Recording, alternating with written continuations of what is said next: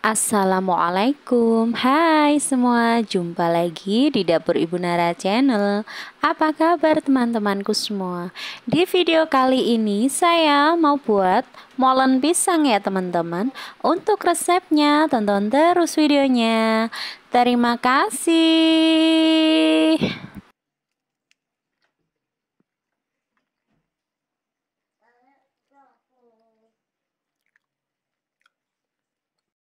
Untuk bahan utamanya tentunya ada pisang. Di sini aku cuma pakai tiga buah pisang raja ya teman-teman. Untuk satu buahnya aku belah menjadi delapan bagian karena aku mau buat molen kecil.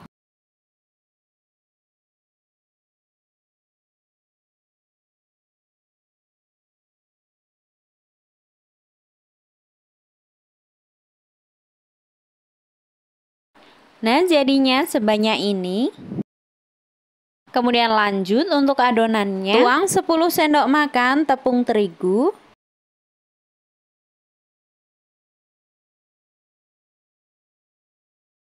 Dua sendok makan gula pasir, satu sendok makan tepung maizena, tambahin juga satu sendok makan margarin, kemudian diaduk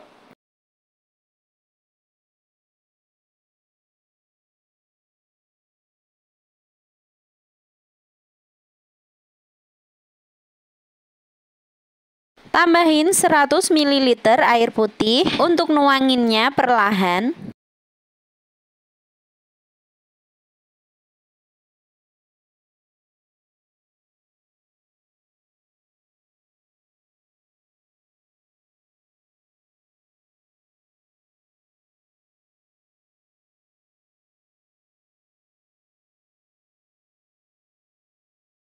Lanjut pindahin ke alas roti yang diulen menggunakan tangan. Di sini tangan aku sudah bersih ya teman-teman. Ulen sampai benar-benar kalis.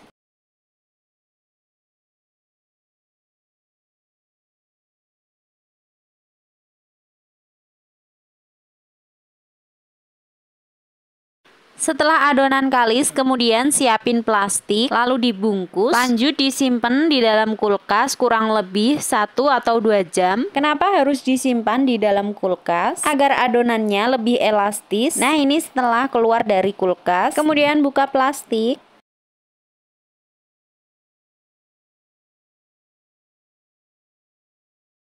Dan lanjut bagi adonan menjadi beberapa bagian.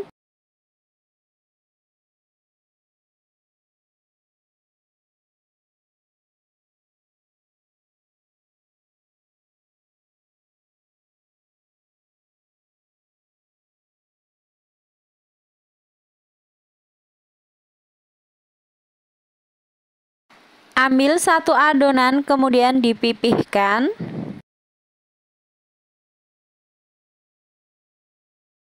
Setelah adonan pipih, untuk pinggirannya dipotong agar hasilnya lebih rapi.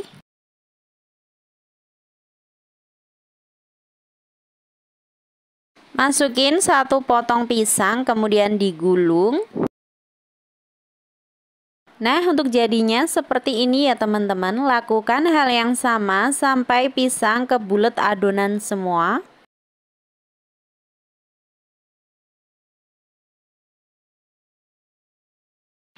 Nah jadinya sebanyak ini Mohon maaf untuk ukurannya tidak sama Karena untuk potongan pisangnya ada yang kecil juga ada yang besar Kemudian lanjut siapin minyak panas Kemudian goreng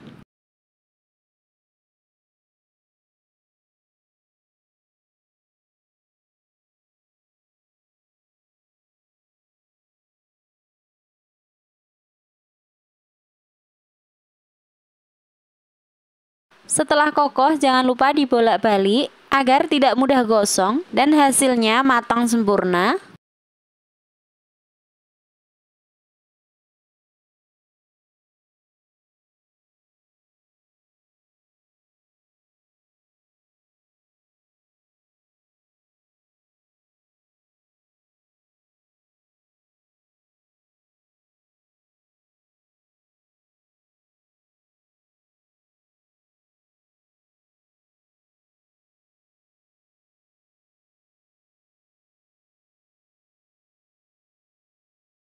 Setelah kuning kecoklatan, jangan lupa langsung diangkat dan ditiriskan. Lakukan hal yang sama sampai semua molen kegoreng semua. Ini dijamin hasilnya crispy di luar, lembut di dalam. Dan tara, molen pisang ala Ibu Nara sudah jadi. Semoga resepnya bermanfaat ya teman-teman. Wassalamualaikum. Bye.